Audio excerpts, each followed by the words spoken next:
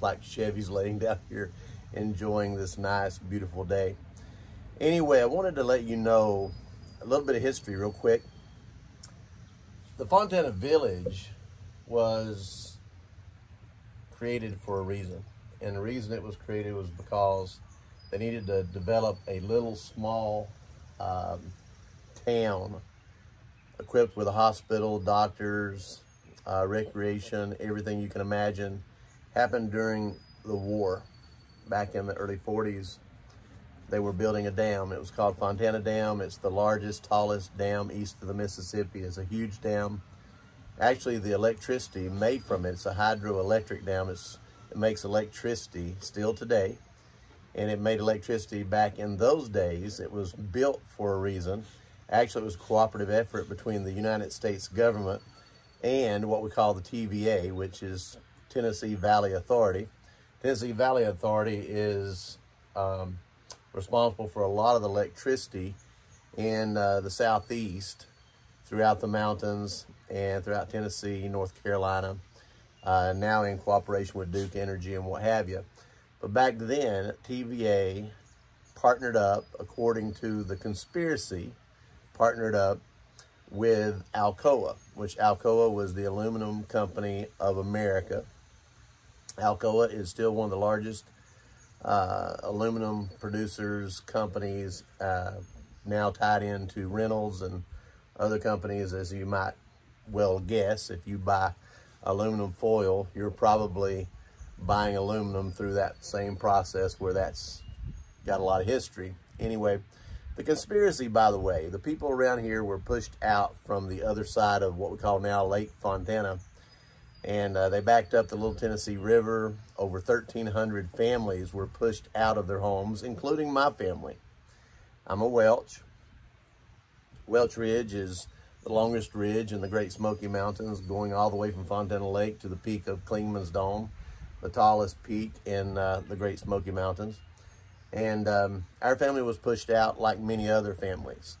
Uh, there were small towns like Hazel Creek and Proctor and um, and other little small small towns that uh, many of your Appalachian families grew up in.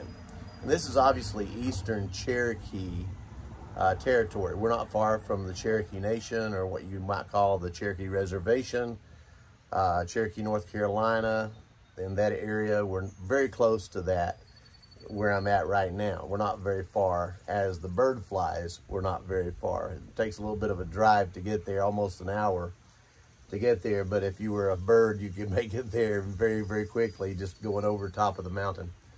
So anyway, a quick history of this is um, they were building the dam to create electricity to manage a project. It was an emergency project.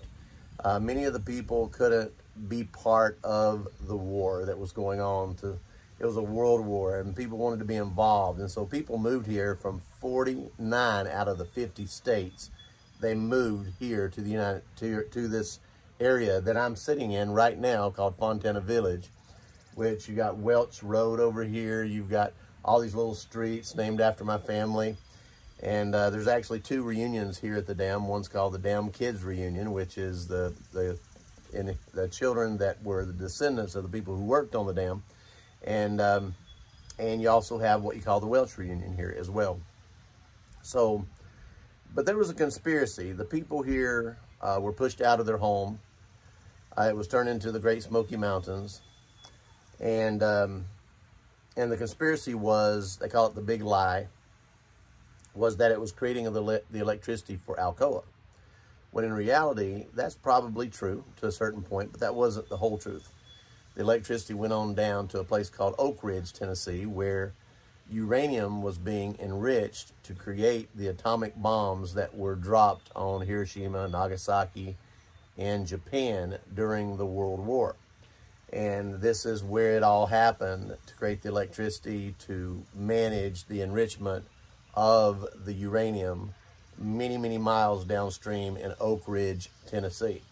So saying all that, the people around here, uh, many of their descendants had a lot of resentment uh, toward the fact that they were pushed out of their homes, they were pushed out of their land, they were given very little for their land and pushed out where they didn't have any control, any decision in the matter whatsoever.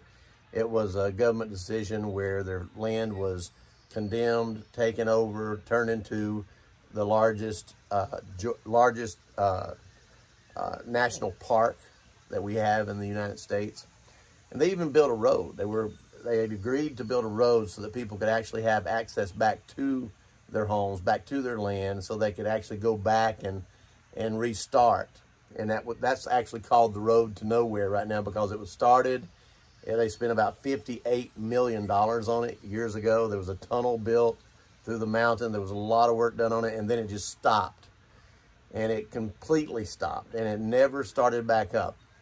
Actually, Swain County, which is the county adjacent to where I'm at right now, was awarded uh, a settlement uh, because of that. And that, that, that settlement didn't even take place until 2010 uh, when the government realized, you know, that the people were upset for many decades later because of what they call the big lie, the road to nowhere.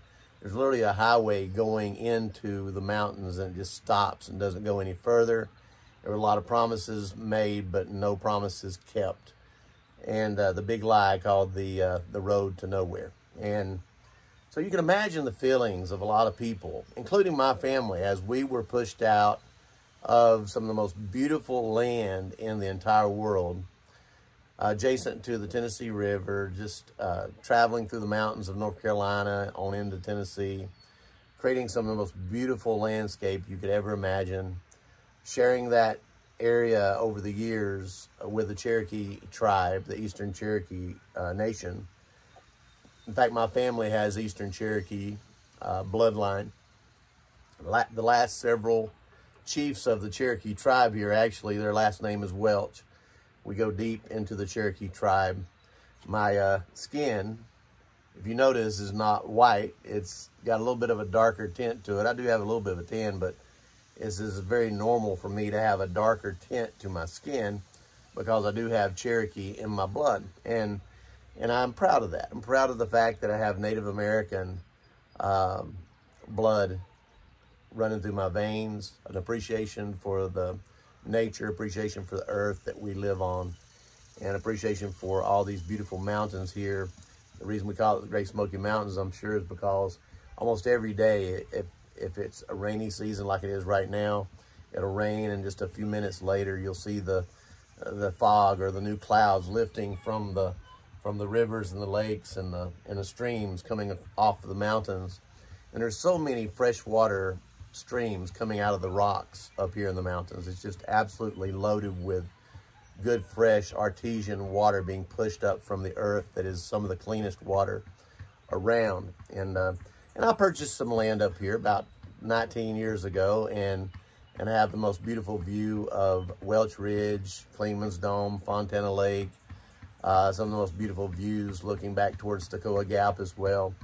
And you can hear the basketball uh, being uh, bounced in the background here because there's a basketball court on down here where they've built some uh, tennis courts, a little uh, pool area, basketball courts here in the village for uh, the children that come up here and play. And it's just a nice, nice location. So I'm here saying something that hopefully helps you to understand a little bit of history.